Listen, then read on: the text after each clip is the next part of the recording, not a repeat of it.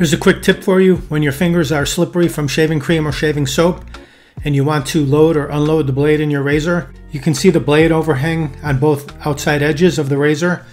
To prevent slicing your fingers and thumb while tightening and loosening the razor, all you need to do, just grab your microfiber cloth, hold the outside edges, unscrew the handle. Alternatively, press the head of the razor down onto the cloth then unscrew the handle. Once you get it loose, then it's easy to maneuver without cutting yourself.